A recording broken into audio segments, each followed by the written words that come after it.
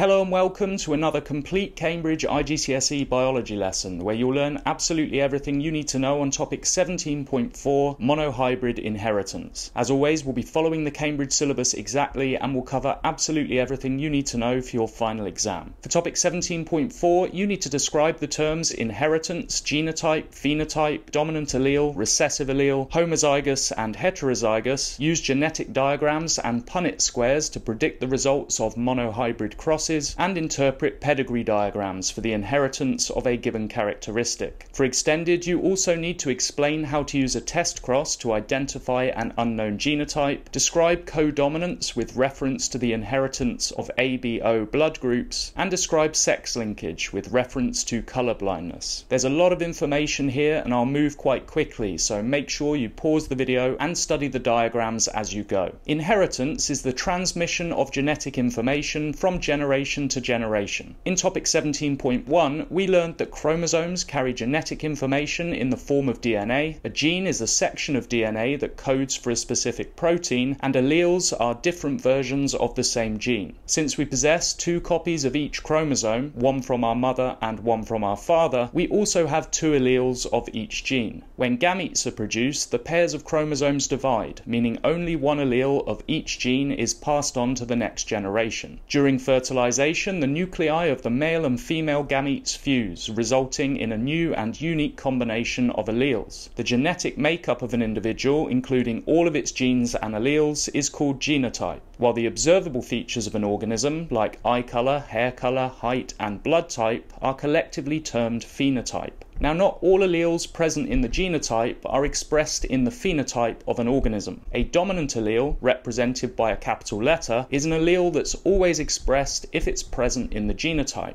A recessive allele, represented by a lowercase letter, is an allele that's only expressed when there is no dominant allele of the gene present in the genotype. In other words, a recessive allele must be inherited from both parents for the trait to be visible in the phenotype. If both a dominant and a recessive allele are present, the dominant allele will override the recessive allele, resulting in the expression of the trait that it codes for. In the case of eye color, the allele that codes for brown eyes is dominant, and the allele that codes for blue eyes is recessive. This means that if both alleles are present in a person's genotype, their eyes will be brown and not blue. If an individual possesses two identical alleles of a particular gene, they are said to be homozygous for that gene. If, however, they have two different alleles, for example, one that codes for brown eyes and one for blue, they are referred to as heterozygous for the gene. When two identical homozygous individuals breed, all offspring will have the same alleles and consequently the same phenotype as the parents. This is referred to as pure breeding. If, however, both parents are homozygous for different alleles, the offspring will all be heterozygous. Heterozygous individuals are not capable of pure breeding as their offspring may have different combinations of alleles and consequently different characteristics. Let's apply all the terms we just learned to an example. So here we're looking at the inheritance of coat colour in mice, where the dominant allele, uppercase B, produces black fur, and the recessive allele, lowercase b, produces brown fur. When two heterozygous black mice are crossed, the resulting offspring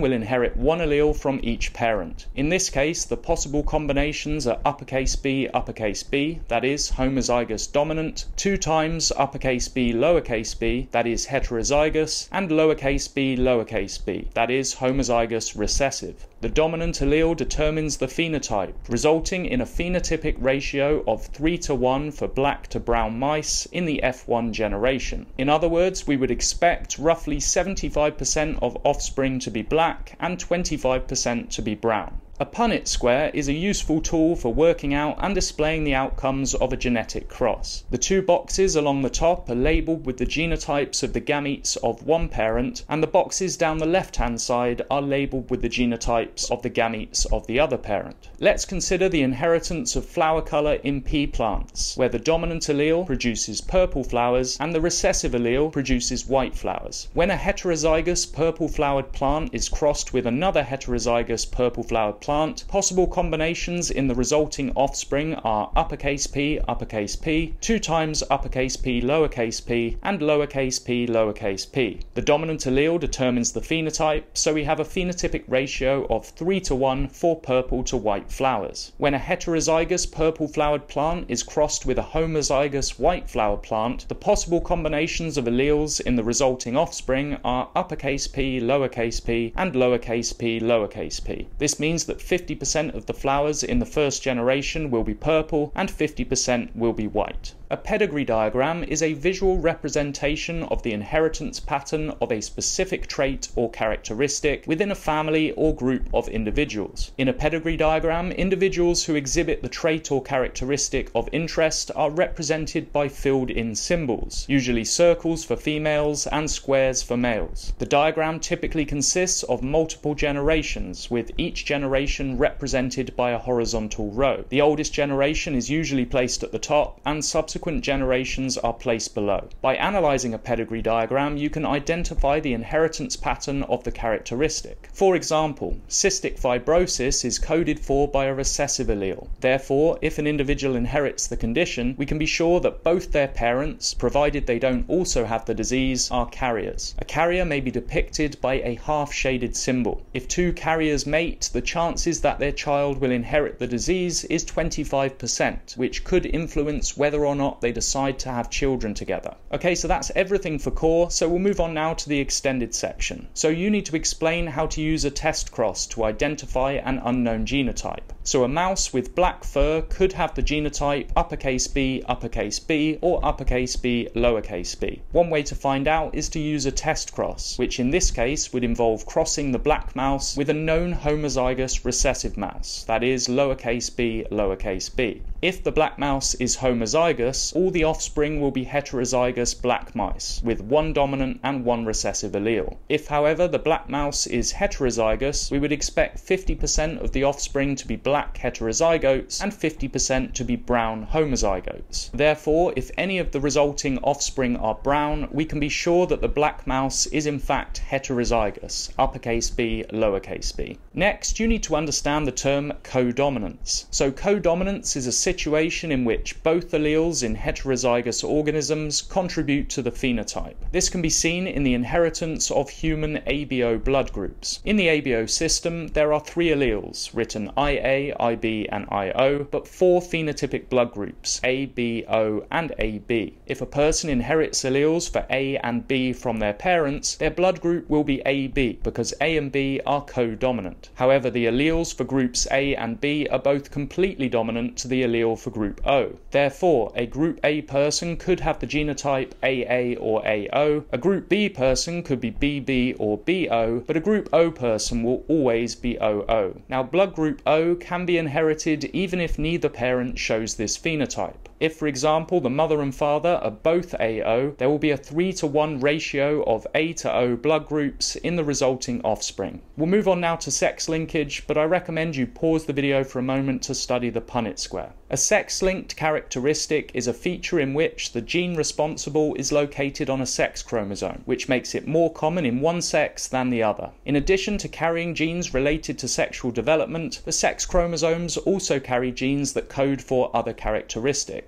As we learned in topic 17.1, females possess two X chromosomes, while males have one X and one Y. Y chromosomes are shorter than X chromosomes, so some alleles present on the X chromosome are absent on the Y. This means that in males, even if the allele is recessive, it's certain to be expressed due to the lack of a corresponding allele on the Y chromosome. In females, the chances of a recessive allele being expressed are much lower, as the allele on the other X chromosome could be dominant. Red green color blindness is a sex linked characteristic. The allele is only present on the X chromosome and is recessive. If a female who carries the allele for color blindness were to mate with a male with healthy color vision, possible genotypes in the offspring would be X uppercase C, X uppercase C, that is, a female with healthy vision, X uppercase C, X lowercase c, a female carrier of the color blindness allele, X uppercase a male with healthy vision, and X lowercase a male male with colour blindness. Well done, you've just covered absolutely everything you need to know on topic 17.4 monohybrid inheritance. If you enjoyed this video, I'd really appreciate your subscription, and I'll see you next time for topic 18.1 variation.